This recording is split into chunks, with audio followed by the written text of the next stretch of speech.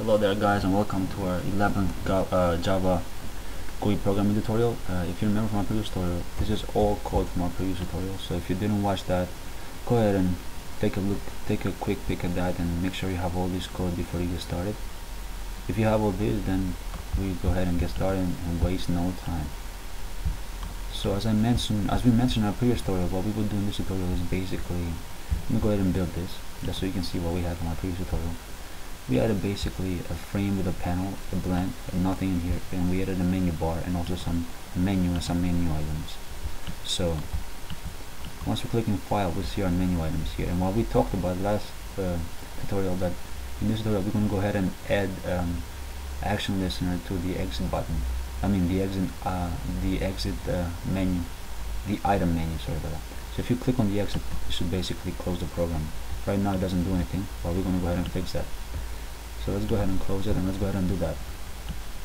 So down here where we added uh, our exit menu to the to the file menu uh, our where we added our exit menu item as I say to the file menu we're gonna go ahead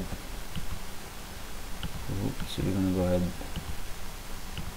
and let's go down. Um, alright here we go. So what I want to do is go down. And down here. Sorry that's that's just the video quality going bad but uh, what we want to do here is we're going to go ahead and type exit dot add action listener. And inside of here we're going to go ahead and type new action listener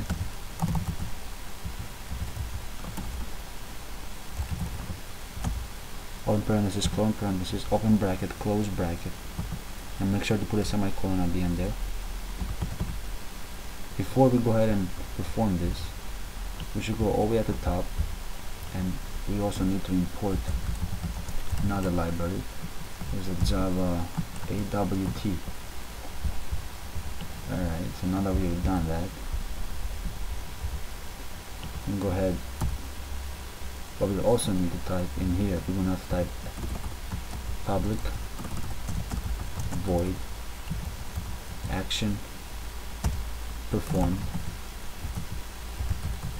and inside this parenthesis we're going to type action event ev then open bracket close bracket.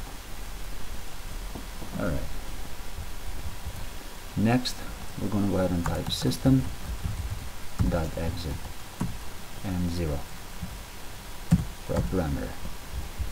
You see all red is because we have to still import the correct class. Now that it has been imported we also have to import the event one so let's go and import that as well. So if you go up here make sure you've also imported this class. Or all you have to do is type event and dot and now we'll, we can get rid of this too and we'll still have the same exact thing. Alright so what this would do uh, let's go ahead and go over our code before we go ahead and run this. So we're calling we're recalling when we type exit dot uh, action listener is we're adding a listener to the exit menu item. So if something happens to it basically it changes basically somebody clicks on it it will perform this action. It will create a new action listener and it will call the method uh, yeah, a method called action performed an action event which will listen to make sure if, if, if, basically something changes basically if some somebody clicks on it or enters or and well for this case it, it's if somebody clicks on it. So if somebody clicks on it it will perform whatever code we write here. And in, in our case we just wrote we told it to exit basically close the program. So if you go ahead and build this.